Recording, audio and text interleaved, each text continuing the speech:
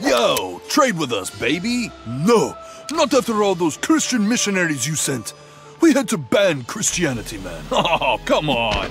We just want places to park our boats while we hunt all the whales and show you how great Western civilization is. Why are you so closed off to the world? Jeez. We trade with Chinese, Koreans, Dutch. That's barely anybody. Come on. Trade. No. I now leave.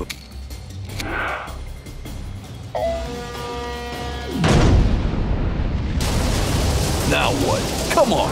I want to hear you say it. Oh, fine. We can. We can trade. Ha ha! Music to my ears. Manifest destiny, babe. Dude, are are we being bullies here? Shut up!